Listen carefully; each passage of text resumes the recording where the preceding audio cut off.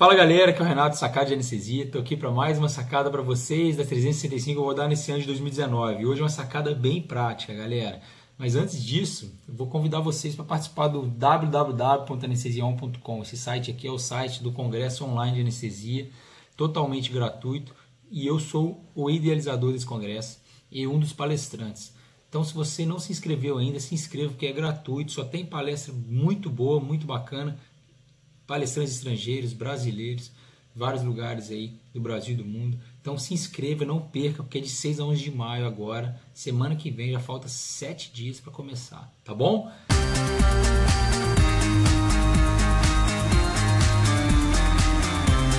Vai receber um e-mail, um link e lá você vai poder assistir as palestras no horário e data marcada, tá bom? Mas vamos lá para a sacada de hoje.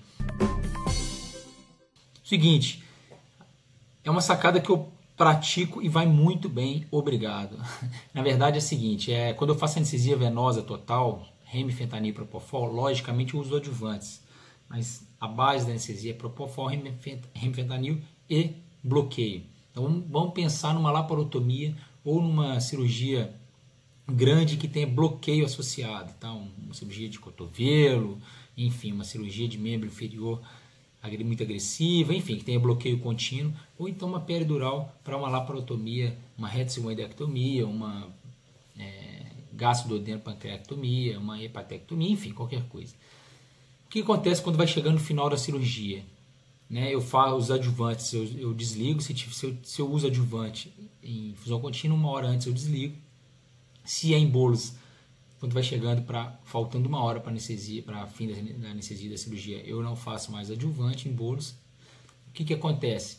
A não ser os analgésicos, obviamente, de pirona, enfim, anti-inflamatório, se tiver indicação, antiemético, enfim, eu, isso eu faço acabando a cirurgia, mas beleza. Mas os adjuvantes para anestesia, de fato, tipo dexmedetomidina, ketamina, lidocaína, é, magnésio, isso, esmolol, isso eu uso, eu desligo um pouco antes, tá? Até uma hora antes eu já estou desligando essas medicações. Mas enfim, como eu desmamo, pessoal, o remfentanil e o propofol, o paciente acordar rápido e bem, sem resquício, sem resquício de droga, sem efeito residual de droga, de hipnótico. O que, que eu faço? Acabando a cirurgia, quando o cirurgião fala assim, olha, vou começar a fechar a parede, tá com peridural, e obviamente eu faço periglótica, então o paciente está com periglótica e peridural e remifentanil e propofol basicamente. Porque o sulfentanil ou o fentanil que eu usei na indução ou que eu precisei repicar durante a cirurgia, já vou ter feito, não, vou, não vai estar em infusão contínua. Então tá, chegando lá, na hora de fechar a parede, tipo, faltando uns 20 minutos para acabar a cirurgia, eu vou desmamando o propofol, vou diminuindo o alvo do propofol. Então, por exemplo, se o paciente está com um alvo de 2.8, de 3 de propofol, 2.5, eu vou diminuindo, vou deixo para 2, depois para 1.7, 1.3, vou diminuindo. Mas com, concomitantemente, quando eu vou diminuindo o propofol, eu vou aumentando o remifentanil. Eu nunca passo de 6 de alvo de remifentanil, nunca passo de 0,2 microgramas quilo minuto de remifentanil. Por quê? Para não dar hiperalgesia, enfim, é uma série de complicações. Bradicardia, hipotensão, uma série de complicações que o remifentanil dá. Mas o que, que acontece? Quando eu vou diminuindo o propofol e vou aumentando o remifentanil, a pressão do paciente mantém mais ou menos igual, porque eu estou diminuindo uma droga que é, que é hipotensora e estou aumentando uma droga que é hipotensora. Então, mais ou menos, a hemodinâmica não muda do paciente, praticamente não muda. Por que, que eu faço isso? Cara? Porque a minha vida do remifentanil não é mais ou menos, mesmo a mesma contexto sensitivo não é mais ou menos 5 minutos? Pois então, a do Propofol não. O Propofol precisa ser metabolizado, precisa ser depurado e demora um tempo para ele ser depurado principalmente dependendo aí do, do, da farmacocinética de cada paciente. Mas enfim, eu vou diminuindo o Propofol uns 20 minutos antes e vou aumentando o remfentanil até chegar a um alvo de 5 ou 6. Com alvo de 5 ou 6, com paciente com periglótica e bloqueio associado, bloqueio regional associado, esse paciente não vai acordar. Por quê? Porque ele não vai sentir nem o estímulo do tubo endotraqueal e não vai sentir o estímulo cirúrgico. E ele vai cochilar numa boa, não vai reagir. E aí o que, que eu faço? Eu vou desmamando o propofol até que eu chego zero de propofol e deixo depurar. Deixo, fico deixando lá ser metabolizado, depurando e fico acompanhando na bomba a queda plasmática e encefálica da concentração plasmática encefálica do propofol. E deixo o remfentanil lá.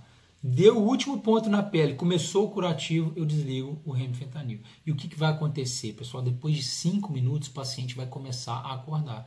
Se você chamar o paciente com periglótica e ou bloqueio associado, ele não vai ter dor, ele vai acordar, vai olhar para você, vai abrir o olho, vai entender tudo, vai, vai se conectar com o mundo novamente, ele vai ter consciência de onde ele está, está no hospital. Então você vai pedir gentilmente para ele abrir a boca né? Você já pode até deixar espontâneo nesse momento, abrir a válvula do, do respirador, do aparelho de ventilação, a válvula pop-off, e aí você pede ele para abrir a boca. Olha, vou, vou tirar o tubo da sua boca. Obviamente você pode até fazer, antes de fazer essa manobra de desmame que eu estou citando, você pode fazer um recrutamento alveolar, Aí antes de tirar o tubo, você pode pedir para o paciente fazer duas inspirações profundas.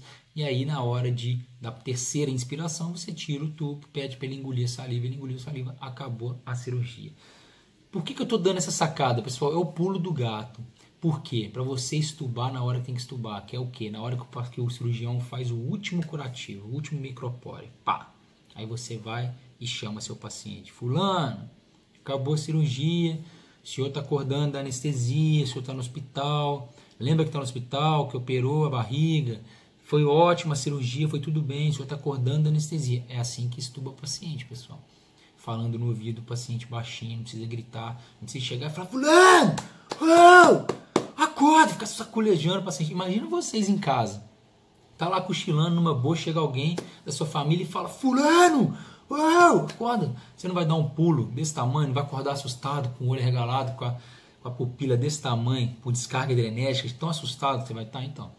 Para estubar o paciente, pessoal, sabendo, obviamente, que se você chamar ele vai acordar, é, fulano, tudo bem, está acordando anestesia, aqui é o Renato, anestesista, você está no hospital das clínicas, você está não sei aonde, tá acabando, lembra que veio operar, não sei o que, então. Aí o paciente vai entendendo, ele, aí ele vai entendendo, vai se tocando onde está, não vai agitar, vai responder comando, aí você vai pedir para fazer duas, três inspirações, vai tirar o tubinho da boca do paciente. Acabou, pessoal, acabou.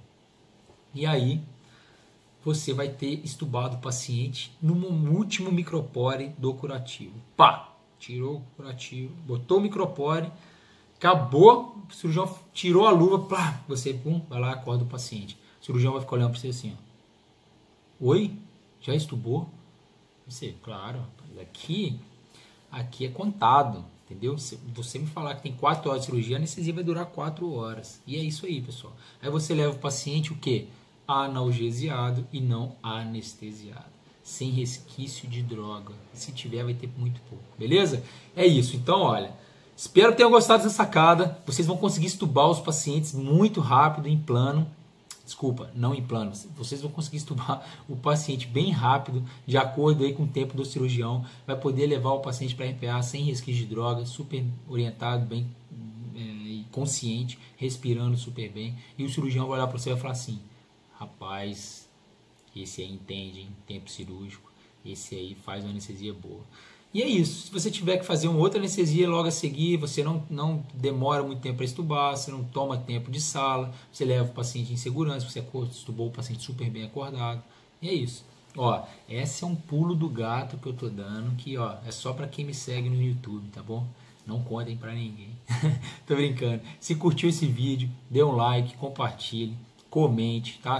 Ative essas notificações do sininho aí para vocês receberem as notificações dos vídeos, todo vídeo que for postado. E é isso. Me acompanhe nessa jornada aí maluca de 365 vídeos nesse ano de 2019. Você vai aprender algumas coisas aí, tá bom? Valeu, pessoal. Fique com Deus. Até amanhã. Até mais.